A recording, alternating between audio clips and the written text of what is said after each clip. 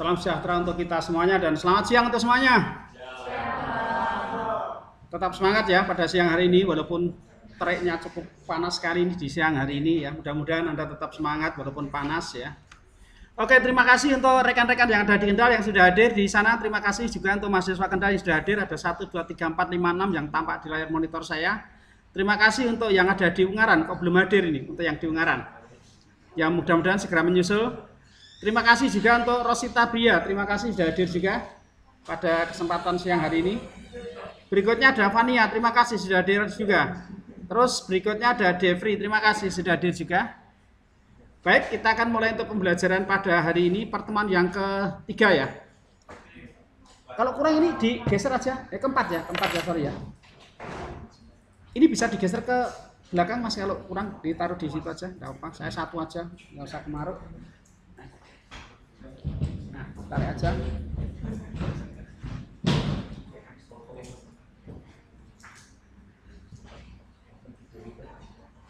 Oke ya, kita mulai untuk ini saya share dulu.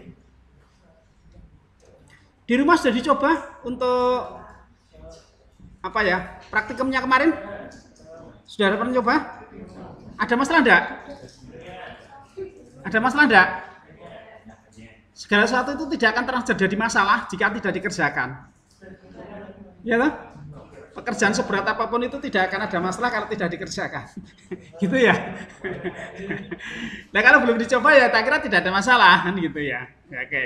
Ya mudah-mudahan sudah pernah dicoba semuanya dan hasilnya jika nanti bisa disampaikan kalau ada beberapa kesalahan-kesalahan supaya bisa saya bantu seperti itu. Gitu ya. Oke. Kita akan lihat yang kemarin itu penerapan algoritma dalam pemrograman pada pertemuan keempat. Ya, kita sudah singgung sedikit kemarin mengenai ini ya. Tapi sebelum lebih lanjut saya bahas mengenai penerapan algoritmanya seperti apa sih penerapan algoritma yang kita gunakan di dalam uh, pemrograman yang kemarin yaitu kita akan membuat apa? Masih ingat ya, luas lingkaran, keliling lingkaran, luas segitiga, terus ada apa? Luas G4, ada konversi suhu, ya toh? Yang yang paling gampang yang pertama itu ada yang namanya penjualan gitu ya. Penjualan seperti itu.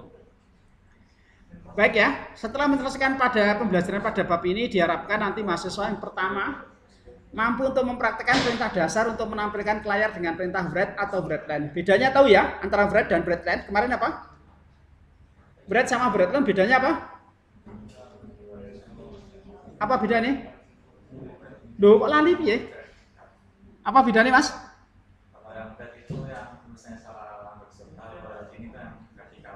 Ya, kalau bread itu berarti tulisannya nanti akan menyamping di sebelah kanan terus menerus gitu ya. Kalau breadline itu dia akan turun ke bawah karena LN itulah line new, baris baru. Nah, seperti itu. Dan proses pembacaan variabel dengan perintah read sama readline. Read juga sama, kalau read nanti hasilnya di sebelah kanan, kalau readline kursornya akan langsung bergerak ke bawah, menuju ke bawah. Lebih cepat kalau kita menggunakan readline. Ya, kalau pakai read nanti tinggal enter dulu seperti itu.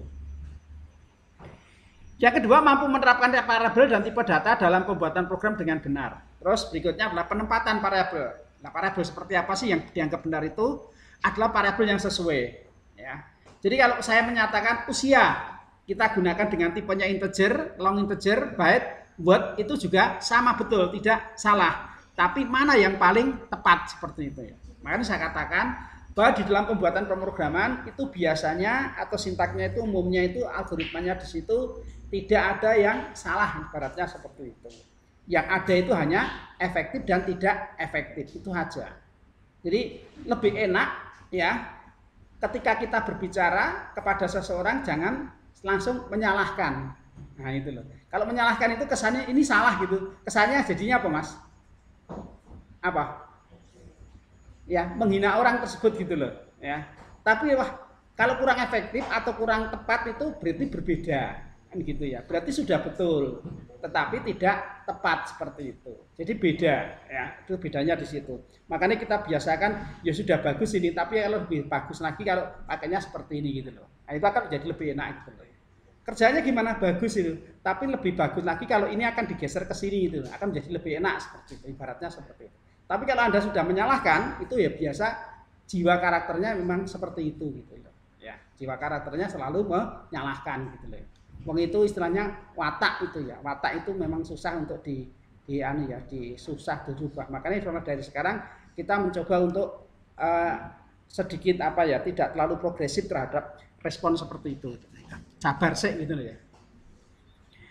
Yang berikutnya mampu untuk menerapkan proses algoritma dalam pemrograman khususnya dalam Pascal. Mampu menerapkan algoritma. Lah algoritma ini yang tahu siapa ya kita sendiri. Kemarin kita akan jual beli ya, jual beli. Lah rumusnya dari mana? Yang rumusnya ya dari kita. Ya, rumusnya dari kita. Beda dengan skripsi. Kalau skripsi itu rumusnya tidak tahu, prok prok prok prok mau jadi apa, jadi skripsi jadi. Nah itu karena anak buahnya Pak Tarno seperti itu. Seperti Pak Tarno ya. Pak Tarno. Pak Tarno itu loh, tetangga saya itu loh. Gitu. Yang di televisi itu loh. Nah itu ya. Nah itu ya. Berikutnya adalah mampu untuk mengimplementasikan algoritma dalam pembuatan program aplikasi sederhana dalam Pascal. Jadi mampu membuat apa mampu mengimplementasikan menerapkan algoritma tersebut dalam pembuatan programnya. Nanti kita akan bahas beberapa contoh yang ada. Nah, nih, cari luas bidang datar. Kalau berbicara masalah bidang datar itu boleh dikatakan kok Mas bidang datar itu abstrak gitu loh. Bidang datar itu abstrak. Ya, bidang datar. Karena bidang datar itu banyak. Maka perlu diperjelas. Nah, dalam bahasanya seperti itu. Segala sesuatu kalau kita berbicara masalah bidang datar itu kan abstrak. Sama halnya dengan berbicara tentang tumbuhan. Tumbuhan itu ya abstrak gitu loh. Atau kita berbicara masalah binatang. Itu abstrak. Supaya tidak abstrak maka diturunkan menjadi bidang datarnya apa? Yaitu dua dimensi atau tiga dimensi. Nah, seperti itu sudah menjadi sebuah objek. Bidang datarnya apa? Segitiga, segi empat, lingkaran. Nah, itu sudah menjadi sebuah objek. Jadi bentuknya seperti itu. Kan berbicara masalah binatang itu kan banyak. Ada yang berkaki dua, ada yang berkaki empat, ya kan? Ada yang punya sayap, ada yang tidak memiliki sayap kan gitu tuh. Nah, itu kan banyak macam-macam. Maka yang mana kalau kita mau bicara seperti itu? Nah, makanya kita akan bicara mengenai luas ini ya bidang datar. Menghitung luas persegi panjang dan segi empat sama sisi, menghitung luas segitiga, menghitung luas dan keliling lingkaran, membuat aplikasi penjualan sederhana. Dari empat ini sudah kita jelaskan kemarin, tapi untuk prakteknya lebih jelasnya kita akan lihat di sini. Algoritma luas segi empat. Ya. Kita akan menghitung ya algoritma menerima masukan. Kalau menghitung luas segi empat berarti kita harus tahu apa?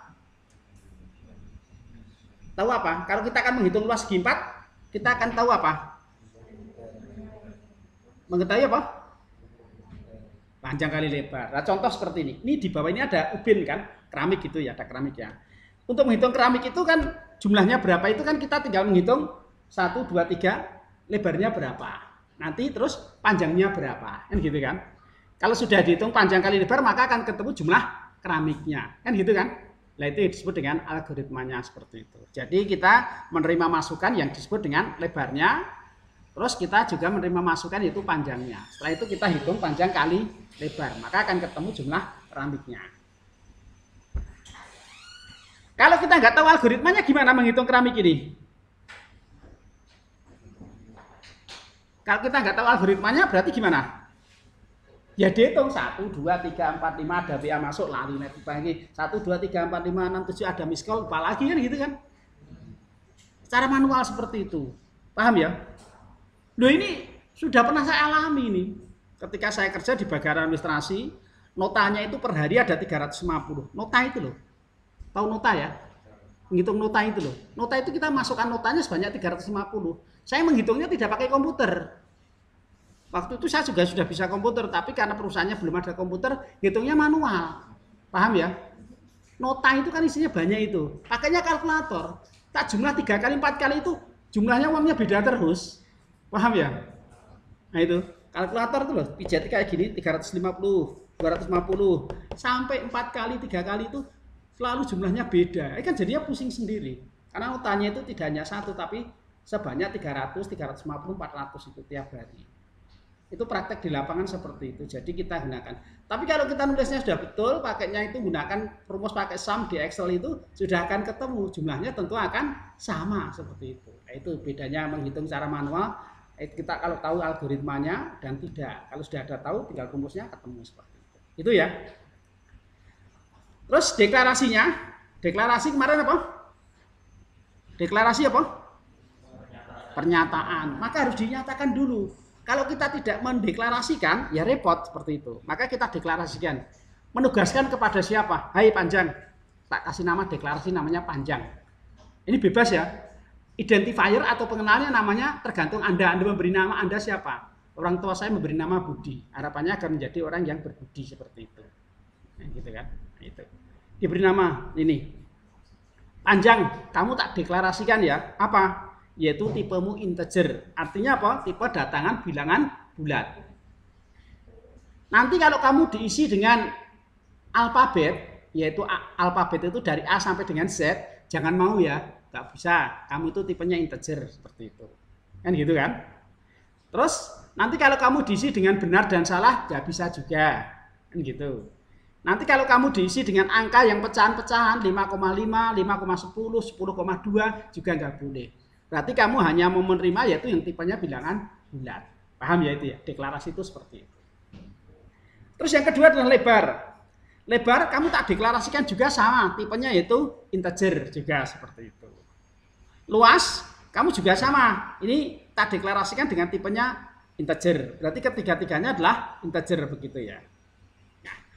Selanjutnya kita akan yaitu deskripsinya baca variabel panjang. Di sini kan kita tulisnya panjang, maka kita baca variabel panjang. Kalau di sini ditulis PJ, maka di sini juga ditulis PJ gitu ya. Kalau di sini tulis LB, maka di sini juga LB. Harus sama gitu ya. Nah, seperti itu. Terus hitung luas segi 4, yaitu panjang kali lebarnya. Untuk menghitung luas segi 4-nya adalah panjang dikalikan lebar. Kalau sudah ketemu hasilnya, tampilkan ke layar. Selesai. Kita akan hanya menghitung yaitu luas segi 4 saja. Sampai di sini bisa dipahami? Bisa ya? Oke, bisa. Terus struktur programnya seperti apa? Lah ini struktur programnya. Bagi Anda yang belum mengerjakan nanti bisa melihat struktur programnya seperti ini. Judul program. Program hitung underscore. Kemarin tidak boleh memakai apa? Spasi kosong ya. Maka kita gandeng. Gandengnya ya pakai underscore. Luas segi 4. Jangan lupa berakhir dengan tanda titik koma. Programnya sudah. Bagian deklarasi. Di sini panjang saya tulis dengan PJG. Tipenya integer ya, titik koma. Lebar tadi saya tulis dengan LBR, tipenya integer juga. Luas tipenya juga integer.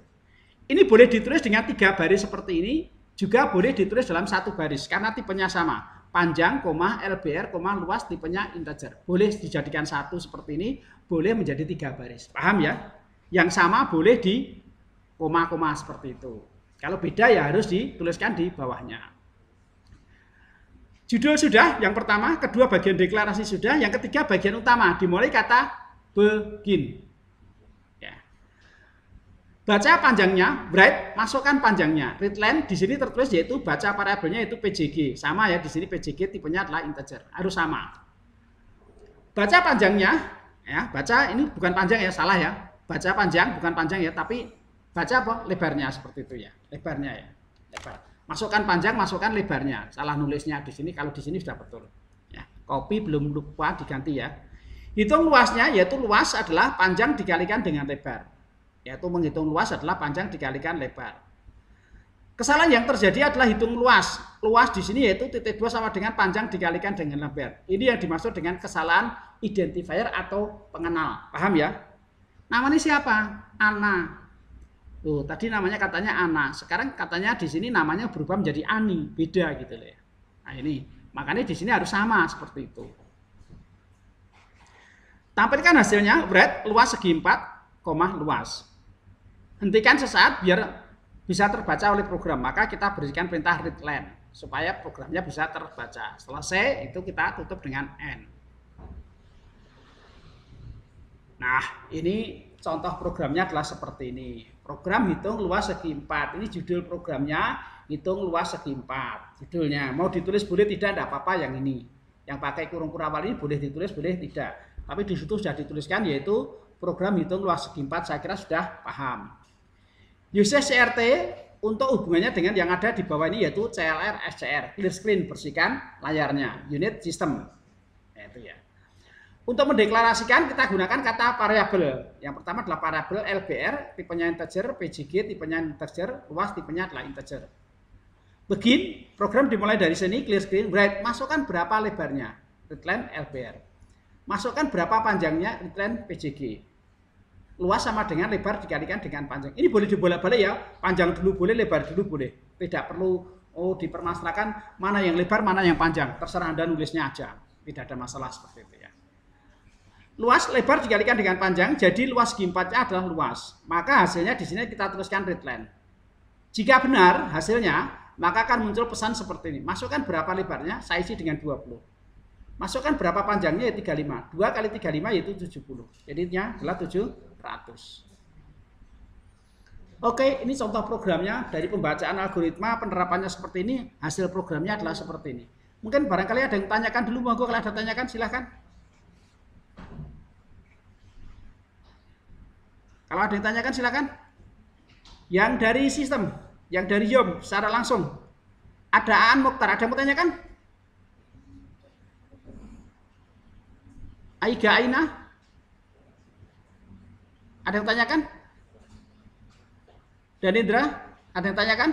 Devri? Asia Ramadhani, ada yang tanyakan? Fania? Muhammad Alip? Mutiah? Redminut? Rosita? Septia Ajaroh, ada yang tanyakan enggak? Sifra Regi, Ulia Sitala, terus apa yang terakhir? Pindah Yuanita, ada yang tanyakan enggak? Monggo kalau ada tanyakan. Bisa diketik lewat chat ya, kalau malu untuk bertanya lewat secara langsung, monggo silakan. Yang dari Kendal atau dari Ungaran, Pak Indra Ava.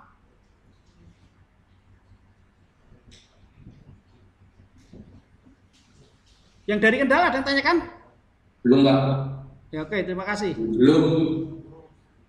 Belum ada, Pak. Ya. Nah, kita hitung luas segitiga. Kalau luas segitiga gimana? Ya hampir sama dengan yang luas G4. Di sini hanya beda pada deklarasinya. Kita perhatikan untuk luas segitiga menghit, apa algoritma menerima masukan yaitu karena kita akan menghitung luas segitiga yaitu istilahnya yang berbeda. Kalau segi empat itu adalah panjang kali lebar, kalau segi tiga adalah apa? Alas dan tingginya. Seperti itu. Maka menerima masukan yaitu berupa alas dan tinggi segitiganya. Berapa tingginya, berapa alasnya seperti itu. Untuk menghitung ya luasnya, cetak luasannya ke piranti komputer. Jadi yang pertama adalah deklarasikan dulu alas. Alas ini tipenya kira-kira apa? Yaitu tipenya adalah integer. Tinggi tipenya apa? Yaitu integer. Luas tipenya adalah real ya. Luas kenapa? Kalau di sini segitiga saya ganti dengan ini yaitu dengan integer maka akan jadi error. Nanti tahu ya errornya kenapa? Karena di dalam rumus segitiga itu ada yang namanya pembagian yaitu setengah.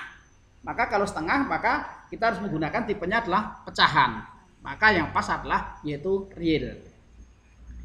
Deskripsinya kita akan baca variabelnya yaitu variabel alas baca variabel tinggi. Untuk mencari luas segitiga adalah yaitu setengah alas dikalikan tinggi ya. Alasnya adalah 0.5 dikalikan alas dikalikan tinggi atau alas kali tinggi dibagi dua.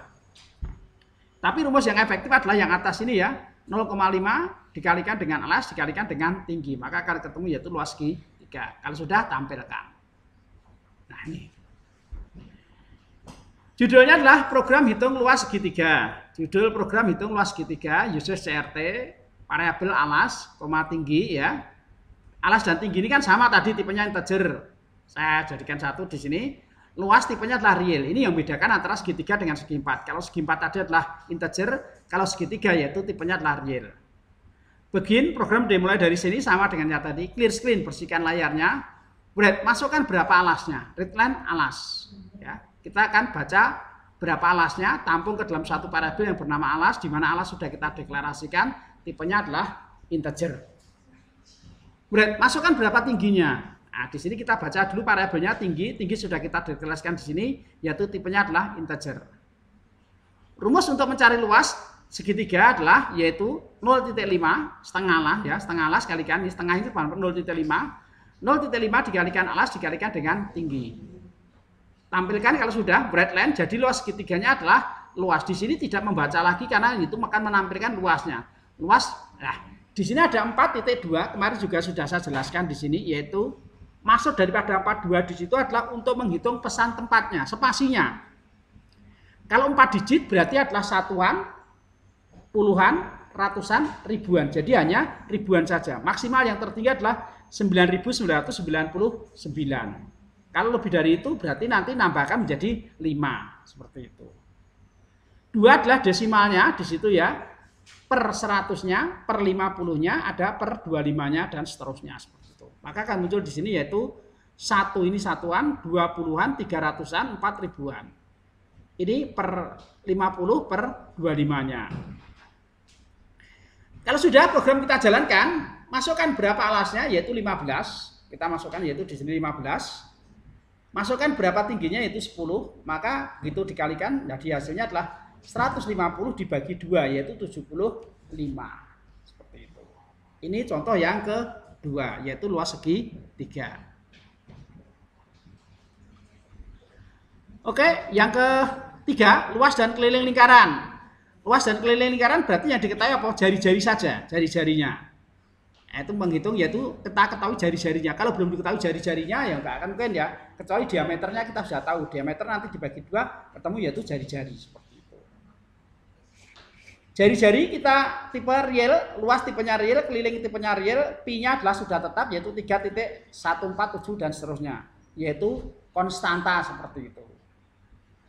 Deskripsinya nanti kita baca jari-jari, hitung luasnya pi dikalikan dengan jari-jari, PR kuadrat. Ya, PR kuadrat artinya pi dikalikan jari-jari dikalikan jari-jari.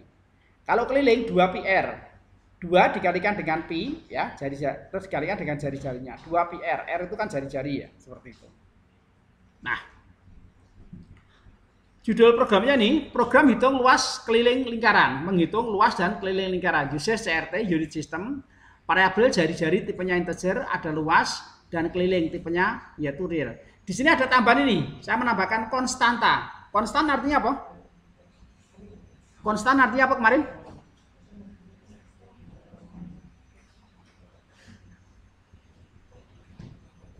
Konstan artinya kemarin apa?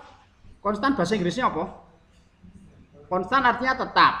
Berarti nilai perubahannya di sini yaitu selalu pi ini akan bernilai 3.14. Nek ubah itu beda. Nilainya tergantung daripada masukan. Tapi kalau diberi pi sama dengan 3.14 berarti nilai pi ini selalu 3.14 seperti itu. Program dimulai dari sini begin. Clear screen, kita bersihkan layarnya, masukkan berapa jari-jarinya. Read line jari-jari. Masukkan berapa jari-jarinya, read line yaitu jari-jari. Untuk mendapatkan luas lingkaran yaitu PR kuadrat Pi dikalikan jari-jari dikalikan dengan jari-jari. Keliling tadi 2 PR, 2 dikalikan dengan Pi dikalikan dengan jari-jari. Untuk menampilkan yang sifatnya adalah tipenya real, maka jangan lupa menggunakan yaitu desimal, pesan tempat dan desimalnya. Untuk tipe yang real, kalau tipenya integer tidak perlu memakai yang seperti ini pesan tempat ini. Hasil yang didapatkan masukkan berapa jari-jarinya? 8, maka luas lingkarannya adalah yaitu 200.96 keliling lingkarannya adalah 50.24 ini hasil yang didapat ya ketika program sudah berjalan dengan benar seperti itu. Nah konversi suhu ya konversi suhu. Ini suhunya ini macam-macam ya. Suhu bisa dikonversi dari Celsius ke Reaumur Celsius ke Fahrenheit atau dari Reaumur ke Fahrenheit atau ke Celsius atau Fahrenheit ya dari Reaumur ke Celsius. Kita gunakan konversi yang kita baca adalah yaitu ini karabelnya ini. R didapat dari C dikalikan 4 per 5 ya dikalikan dengan di, atau sama dengan 0.8 ya 0.8 dikalikan dengan C. Maka ketemu reamurnya Fahrenheit berarti C ya dikalikan dengan 9 per 55 ditambah 32 maka ketemu 1.8 dikalikan dengan C ditambah dengan 32 ini Fahrenheitnya adalah seperti itu. Ini rumusnya ya nah terakhir kemarin saya nyampaikan di ini ya. Apa? Hitung pembayaran cash kan? Punya toko seperti itu ya. Nah, ini yang terakhir. Oke. Pencatatan transaksi penjualan sebuah toko kelontong dengan inputan nama barang. Inputannya adalah nama barang harga barang jumlah barang atau penjualannya. Total adalah sebuah proses dari harga dikalikan dengan harga barang dikalikan dengan jumlah barangnya. Buatlah program transaksi di atas. Langkah-langkahnya kita tulis judulnya dulu yaitu transaksi penjualan Deklarasikan variabelnya nama barang. Di sini kita tadi ada nama barang. Saya tulis dengan nama bar, tidak boleh pakai spasi. Maka saya singkat dengan menjadi nama bar. Tipenya string, kumpulan daripada karakter. harga barang tidak boleh spasi seperti ini, maka saya singkat dengan harga bar atau ditulis harga saja juga boleh. Harga barangnya adalah real. Jumlah barang juga sama, tidak boleh pakai apa spasi, maka saya tulis dengan jumlah bar atau jumbar seperti itu ya. Jumlah barang atau JML gitu aja cukup ya. Tipenya adalah integer dan total tipenya adalah real. Programnya program hitung pembayaran kontan atau cash. Ini judulnya, user CRT parabel ada nama, tipenya string, harga total tipenya real, jumlah tipenya integer. Ya. Begin program dimulai dari sini, clear screen. Bread, nama barang, readline nama, bread, masukkan harga barangnya, yaitu readline harga, masukkan jumlah barangnya, yaitu jumlah. Total didapat harga dikalikan dengan jumlah. Jadi total harganya adalah ini. Ini kan sama dengan dengan yang logika yang di depan tadi yaitu segi empat tadi. Masukkan panjangnya, masukkan lebarnya, terus total didapat dari harga kalikan dengan itu ya. Nah, itu. Bentuknya seperti ini ya. Nama barang spidol warna. Masukkan harga barangnya 12.500, masukkan jumlah barangnya 3, jadi totalnya adalah 37.500. Nah, ini orang Indonesia selalu meminta diskon, tambahkan diskon. Kalau kita beli kan minta diskon kan? Ya kurangi itu. Tambahkan program di atas dengan adanya diskon. Bahwa setiap pembelian dapat diskon sebesar 15%. Berarti kan nanti apa? Total dikurangi dengan diskonnya tadi ya. Cara ngitung diskon aja paling lama-lama itu enggak enggak ya apa? Berapa itu kadang-kadang enggak mudeng kok. Ya, kalau harganya 120 diskon dapat diskonnya 20% berarti harganya berapa? Cara ngitungnya piye? Anda mau beli toh, beli barang toh. Ini katakanlah barang ini harganya 120.000, ya toh? 120.000. Terus mendapat diskon yaitu sebesar 20%. Jadi ini harganya berapa?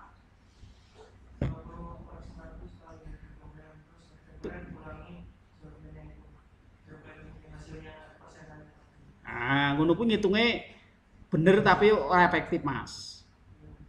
Sing efektif ya? Eh? Sing efektif ya rasa dadak ngurang-ngurang ini loh, kesuwen. Berapa? Oh ya ora efektif, Mas.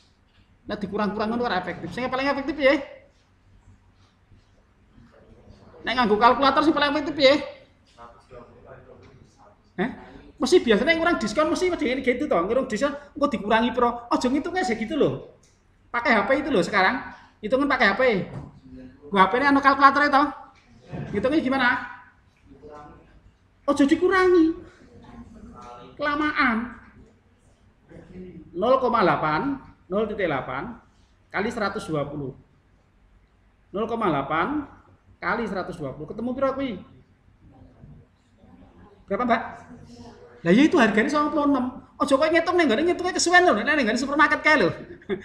Kok dikurangi piro jumlah piro, nggak usah mikir kayak gitu loh, paham? Jadi kalau ngitung dapat diskon itu, diskonnya dapatnya berapa? Oh diskonnya adalah 30%, berarti kan Anda mendapat 70% kan? Berarti 70% 0,7 dikalikan harga harganya ketemu, tak usah tidak ngurangi. Ngitung. Hampir kebanyakan belum paham ngitung diskonnya gitu, mesti dikurangi saya gitu loh ya, paham ya? Paham ya? Nah, tidak perlu dikurangi kan? Langsung 0,8 dikalikan dengan 120 ketemu 96. Tidak perlu pakai dikurang-kurangi seperti tadi. Apakah salah Pak yang dikurangi? Betul, tidak ada masalah. Tadi saya katakan bahwa di dalam pembuatan program seperti itu bukan tidak efektif, tapi yaitu apa? Kurang ah, pajak. Bukan tidak salah, apa bukan benar ya? Ah, bukan tidak salah ya, tetapi kurang efektif saja seperti itu. Oke ya? Terus nanti kita akan kalau paling gampang ya seperti ini, total dikurangi dengan diskon ya, tampilkan hasil program di atas. Kita akan lihat di sini. Nah, ini ya. Ini. Program hitung pembayaran kontan. Sama dengan tadi ya nama, tipenya string, harga dan total tipenya real, jumlahnya tipenya integer. Ada diskon dan bayar tipenya real. Begin program dimulai dari sini, clear screen. Masukkan nama barangnya.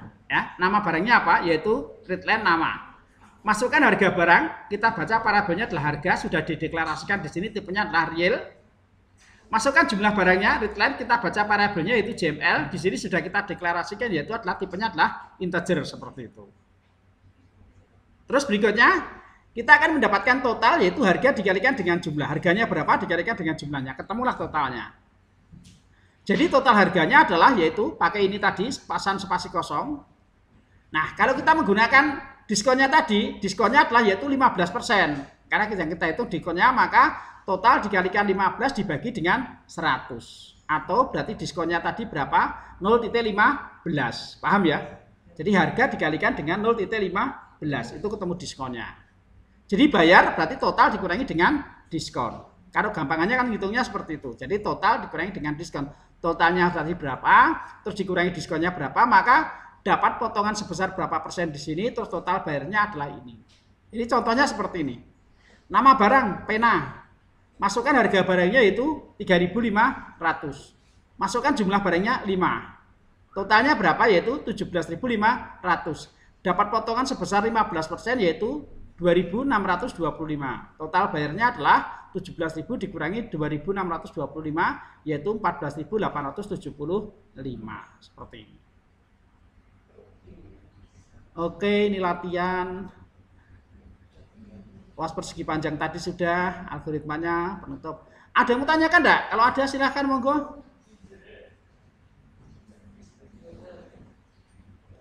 Ada yang mau tanyakan? Silahkan kalau ada tanyakan. Baik yang hadir secara online maupun yang secara offline silahkan.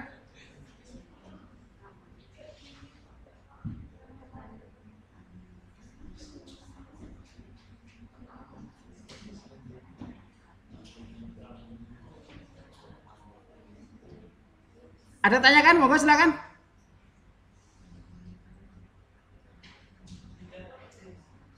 Tidak ada? Baik ya. Kelihatan tadi? Saya mulai ya. Saya buat judul yang pertama tadi judulnya apa? Tulis kata program ya, saya tulis huruf besar. Program cari apa tadi? Cari underscore luas segi 4 yang pertama tadi ya. Ini kan? Terus?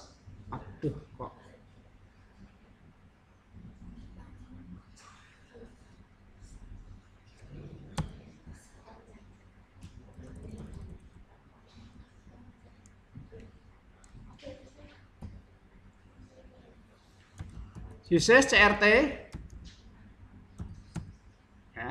terus variabelnya tadi saya terus variabelnya tadi dia ada ada segi 4 tadi ada PJG ya panjang koma LBR koma apa? Yaitu luas. Nah, luas. T2 integer.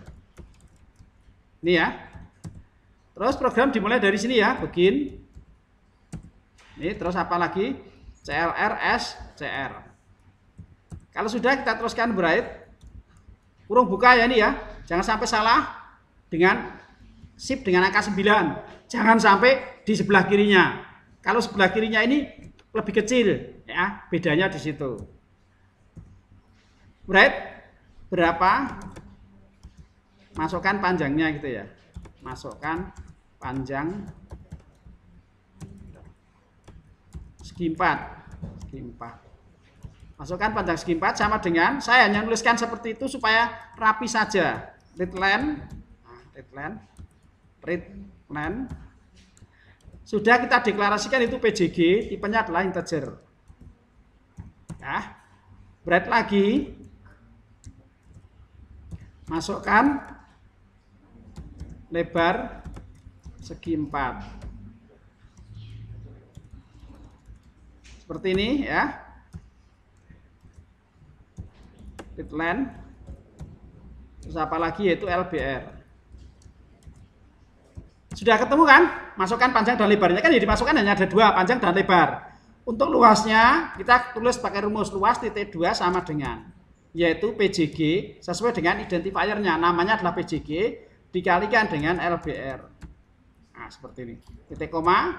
Kalau sudah tampilkan yaitu hasilnya. Bright jadi luas segi 4 adalah kan titik-titik ini ya sama dengan di sini ya tanda petik koma. Nah di sini yang langsung ditampilkan itu luasnya seperti ini karena kita tidak apa tidak memasukkan ya tetapi di situ ini readline kita supaya diberi kesempatan untuk membaca variabel tersebut kalau sudah ditutup dengan n titik.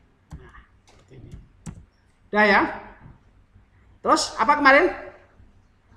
Jalankannya pakai apa? Ctrl F9. Di sini kita boleh pakai run, Ctrl F9 boleh ya, run. Nah, atau Ctrl F9. Nah, kalau betul seperti ini. Masukkan berapa panjangnya? Saya sih dengan 10. Ini itu. Masukkan berapa lebarnya? 5. Nah, enter. Nah, jadi luas gimpatnya adalah yaitu 50. Paham ya? Oke. Sampai sini ada tanyakan? Sudah saya demokan satu, nanti yang kedua sebentar lagi.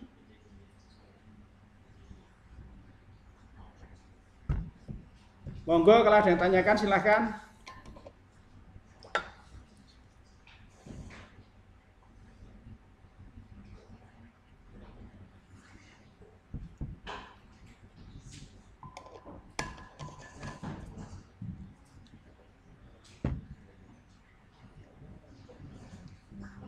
Ada tanyakan?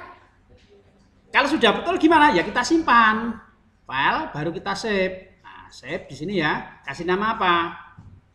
Segi 4, sego papat. Nah, contoh aja di sini. Kalau override seperti ini berarti di sana dulu sudah ada seperti itu saja, biasa saja, tidak masalah ya. Nah, seperti ini. Oke ya.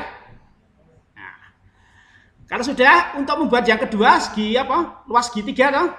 Anda nggak perlu membuat dari awal, tetapi dengan cara disimpan. File save as. Kasih nama SG3. Di sana sudah ada karena sudah pernah saya buat ya. Nah ini saya jawab aja yes. Nah, sekarang tinggal aja diganti di sini luas segi 4-nya ganti dengan 3. Ini lebih efektif ya daripada Anda membuat dari awal. Kan parabelnya sama toh, tidak ada bedanya kan. Kalau segitiga berarti apa? PJG ya, eh, alasnya ya, alas kali tinggi. Tinggi boleh disingkat TGG. Tinggi, TGG gitu ya. Atau mau ditulis lengkap juga boleh. Nah ini. Terus was, sudah. Terus di sini luasnya karena segitiga itu ada pembaginya, maka luasnya tipenya apa? Yaitu real. Saya kasih di bawahnya. Tipenya adalah real. Nah, seperti ini. T sudah. Nah, seperti ini ya. Sekarang kita bukan masukkan panjang segitiga, tetapi masukkan alas segitiga ya. Panjang segi empat tidak, tapi alas segitiga. Nah, seperti ini, alas segitiga. Kan nggak usah nulis terlampau panjang di sini hanya ganti ini saja. Terus kalau sudah masukkan yaitu tinggi, tinggi segitiga. Ini ya, tiga. Terus kita samakan di sini ya, supaya parabelnya lurus saja seperti ini. Parabelnya di sana tulis apa? Alas, ya tulis aja alas seperti ini. Alas, terus di sini tulis TGG. TGG, tinggi. Nah, dah. Berarti di sini rumusnya tadi berapa? 0.5 dikali dengan apa? Alasnya dikali dengan TGG ya. Nah, Oke. Jadi luas segitiganya apa? Adalah luas. Nah bedanya kalau pakai tipe real ini pakai pesan tempat dulu. Pakai pesan tempatnya apa? Yaitu di sini mau 6 boleh, 2 boleh, 5 boleh. Nah ini contohnya adalah seperti ini. Dah? Langsung kita run, Ctrl F9. run. Nah, pas segitiganya berapa? Apa? Alasnya berapa? 20. Terus tingginya berapa? 15. Nah, ketemu yaitu 150. Oke. Sampai sini ada yang tanyakan? Silahkan kalau ada yang tanyakan untuk membuat programnya. Sudah jadi kan?